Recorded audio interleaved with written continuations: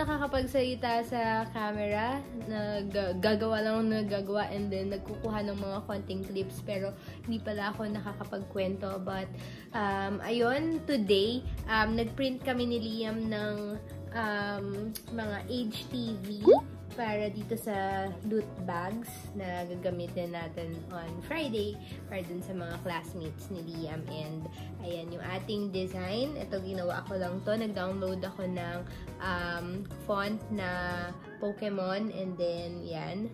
Tapos ito yung number 6 yung age ni Liam. Um, he's turning 6 on Saturday actually. Pero yon Fridays lang kasi pwede mag-celebrate uh, sa school nila. So, ayan eh. Yung Pokemon Ball ba? Yon Yun yung design nito. And then, um, by the way, this bag, I got this from um, Divisoria for um, 7 pesos each. Yan. Ito na yung uh, medyo malaki nila. So, ayan. And then, nag-print din ako. Tuwan-tuwa si Liam dito. Gusto din daw niya. Naisip ko lang, since nag-download nga ako nung uh, font, ayan, gumawa ako ng Pokemon. Instead of Pokemon. So, tuwan-tuwa siya. Sabi niya, baka daw pwede Pokekid. Parang ang pangit. Sabi ko, hindi anak. Sabi ko, gusto mo, ano na lang, Pikachu. Tapos, nag-make face siya. Sabi, parang slay na-realize ko, very tita na yung mga jokes ko. Pero yun, wali na wali. Ayan, and then, um, also, ayan, nagdi-DIY ako. Ito, sample lang to. Pero ayan, nagdi-DIY ako ng uh, mga balloons. Dahil, nung nagdivisoria kami, merong mga Pikachu na balloons. Pero sobrang laki. Um, dapat bilhin ko na nga actually. Kaya lang, hindi ako mapakali. Parang sabi ko, uh, masyadong malaki, tapos hindi naman cute si Pikachu. Di ba alam niyo yun, yung mga balloons na um, maganda yung foil, pero yun kasi nasa Divisoria, hindi siya foil.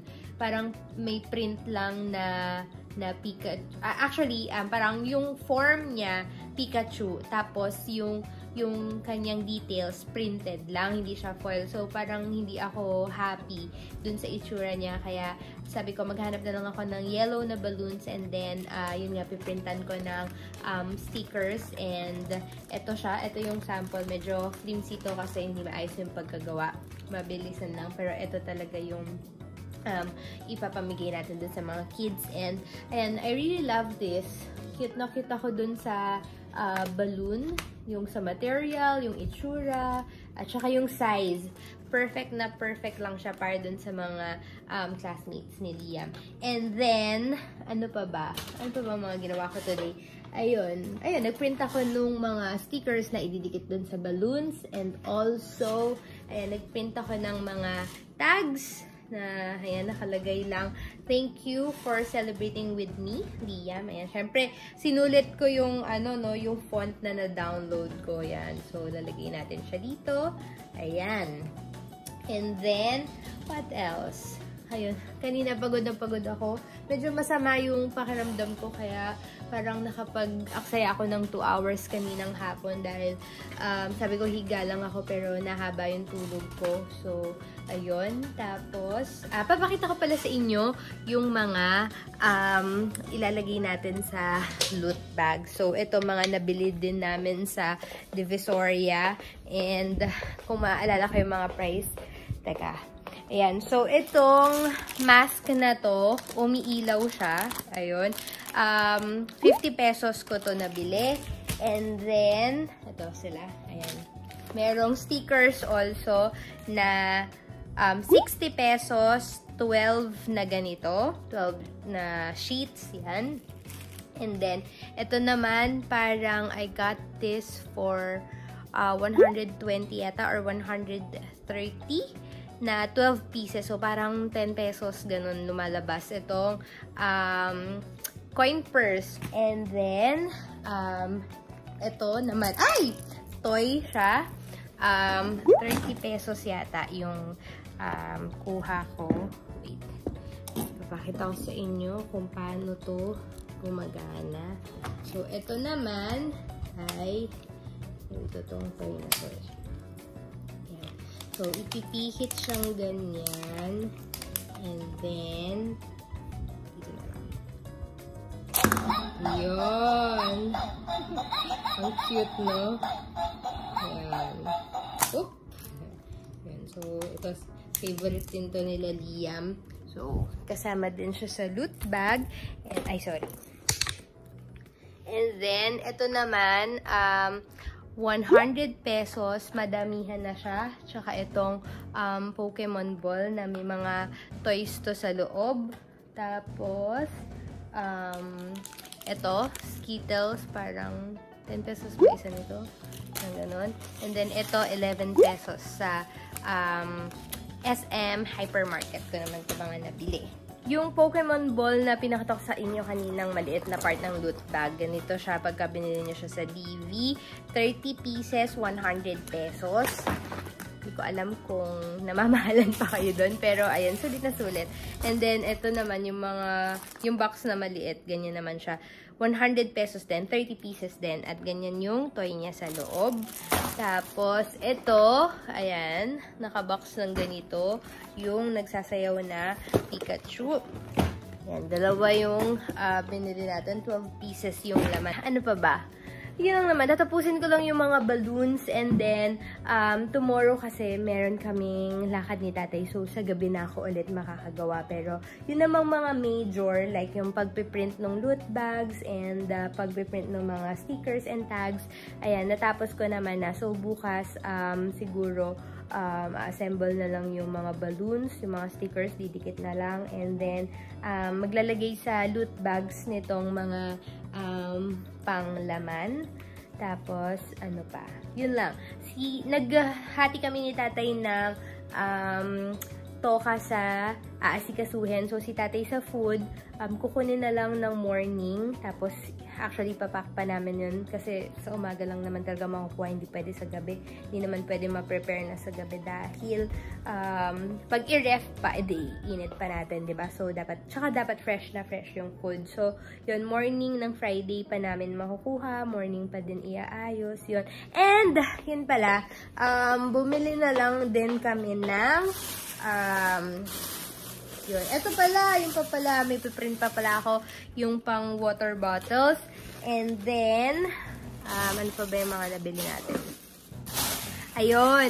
Ito, um, nag-sale sa um, SM. So, dito na lang natin lalagay yung mga pagkain ng mga bata. Um, nalag pagka nagkaroon pa ako ng time, um, 14 lang naman sila. So, lalagyan pa natin ng names. Papahugasan ko na yan.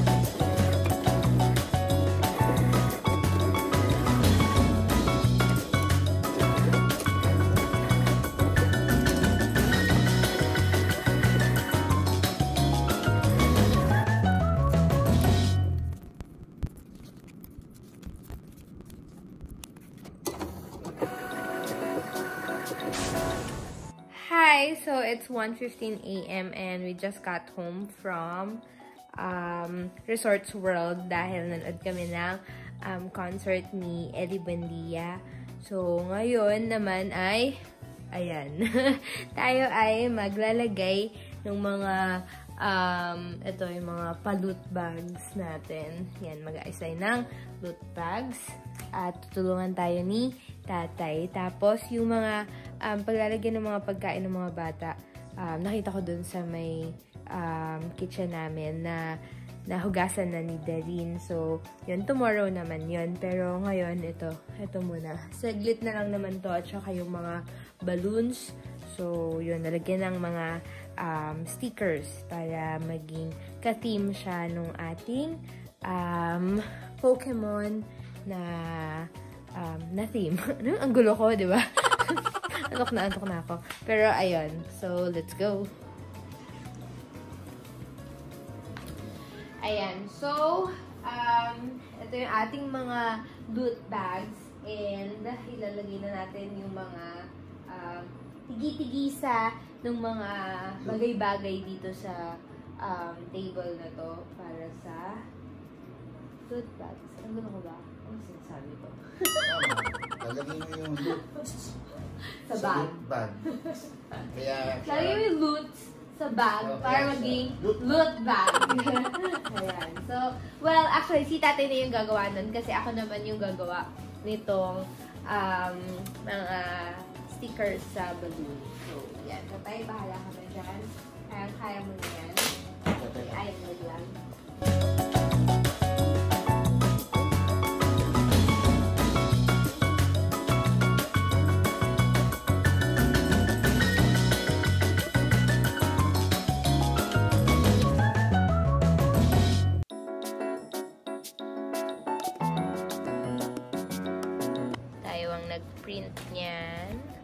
Sa mga gusto magpagawa, joke lang.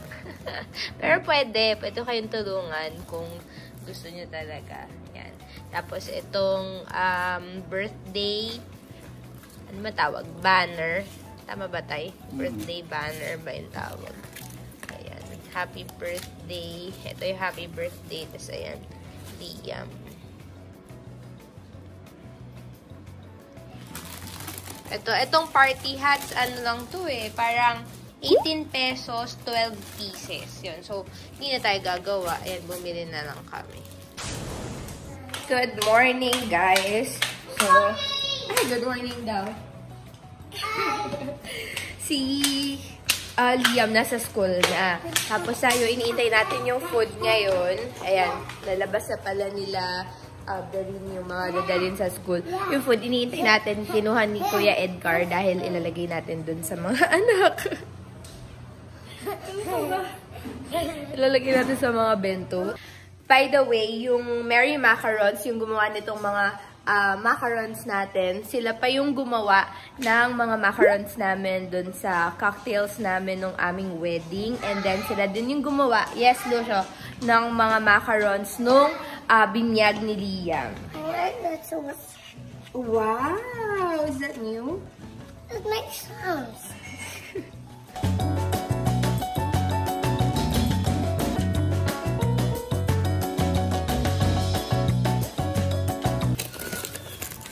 Ito na yung food. Chicken lollipop.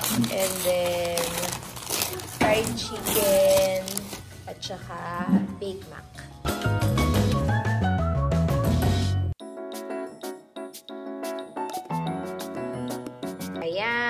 Ready na ang ating bento. Bento box. sana matuwa yung mga bata. Tsaka sana masarapan sila.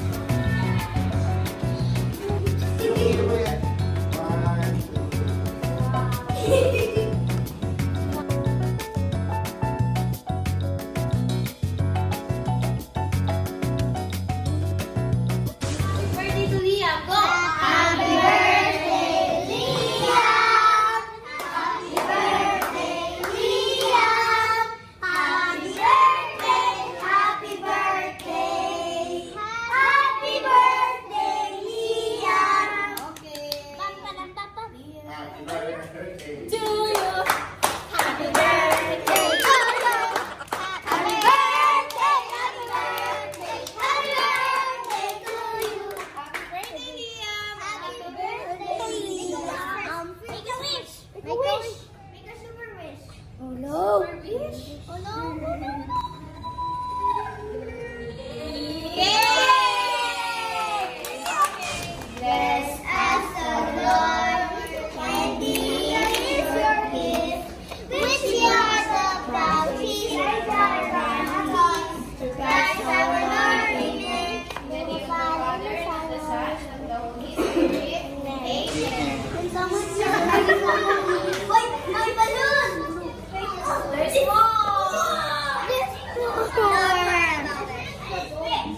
Big.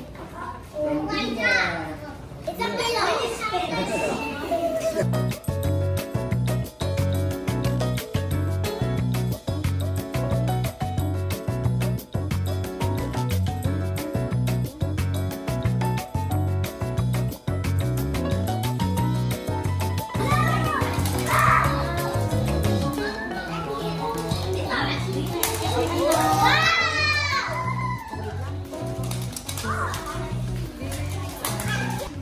Siguro nag smile sila. Are you guys smiling? Smile, yeah? I, I don't think you're smiling.